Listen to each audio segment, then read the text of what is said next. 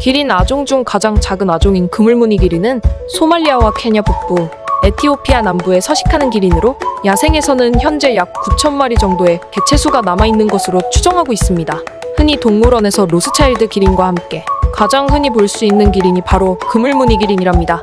그물무늬 기린은 기린 중에서 가장 작다고는 해도 키가 3.6에서 4.6m에 체중은 550에서 1900kg까지도 나가는 동물로 사자도 쉽게 잡기 힘든 동물이랍니다. 특히 다른 기린과 마찬가지로 큰 키에다 시력이 아주 좋아서 6km 거리에 있는 천적도 볼 수 있을 정도라고 합니다. 그물무늬 기린의 수명은 20에서 30년 정도며 천적은 사자와 나이라고 정도입니다.